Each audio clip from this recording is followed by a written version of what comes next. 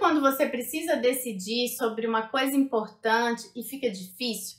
Você pensa, pensa, pensa e não consegue chegar a conclusão nenhuma.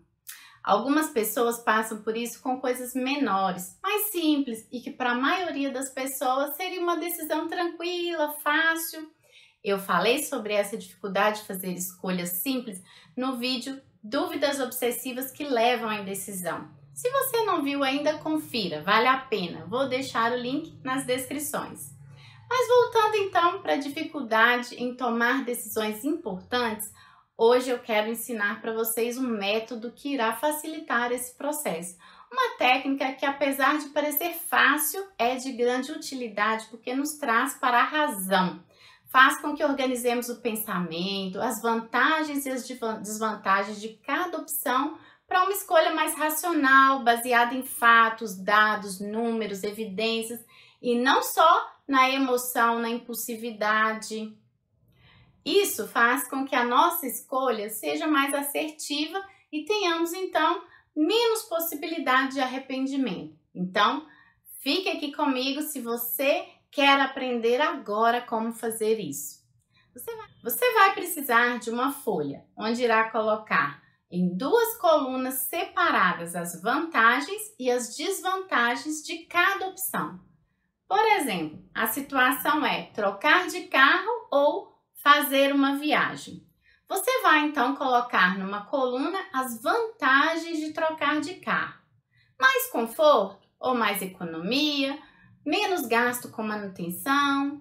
Coloque todas as vantagens que você conseguir observar na troca do carro. E depois, na outra coluna, as desvantagens de trocar de carro. Por exemplo, gastar sua reserva, pagar prestação do financiamento, ter que ficar sem viajar um determinado tempo. Coloque então na outra coluna todas as desvantagens de trocar de carro.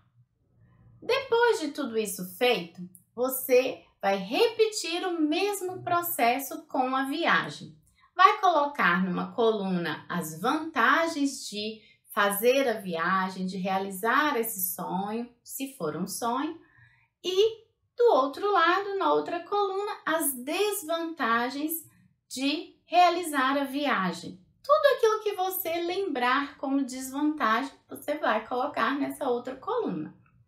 Feito isso em relação à viagem e à troca de carro, você vai voltar em cada um dos itens que você listou como vantagem ou como desvantagem e pontuar esses itens de acordo com o grau de importância que eles têm para você, de 0 a 10.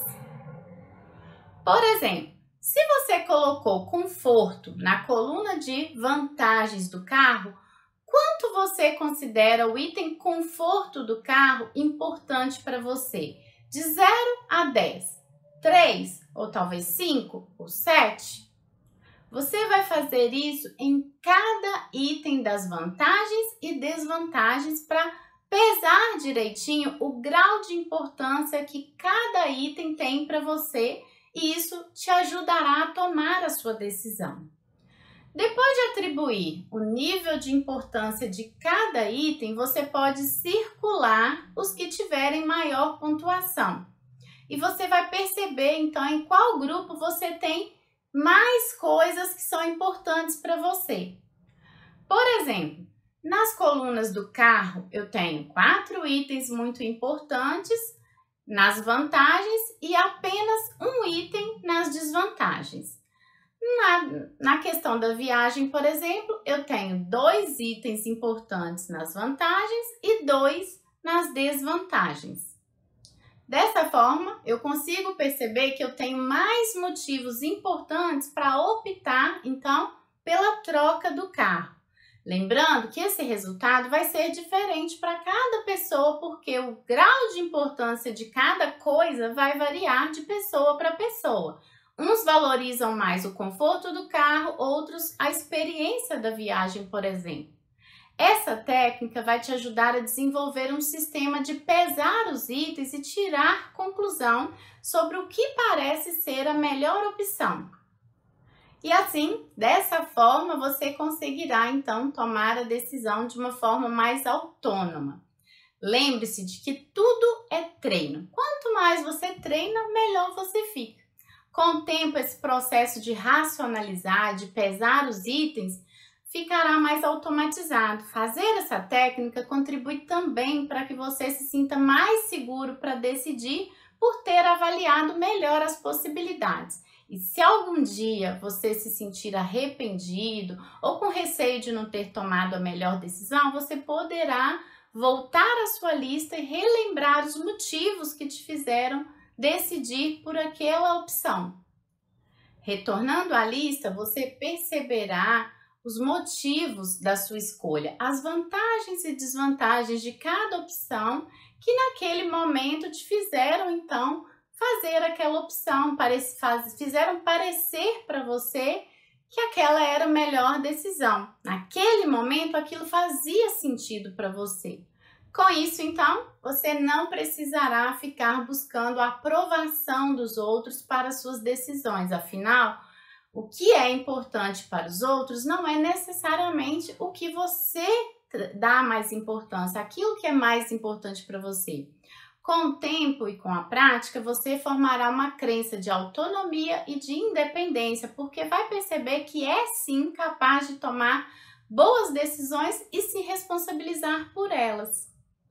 Se ainda assim parecer muito difícil para você decidir, busque então por atendimento psicológico para treinar essa habilidade de identificar possíveis esquemas ou crenças disfuncionais que estão gerando tanta insegurança.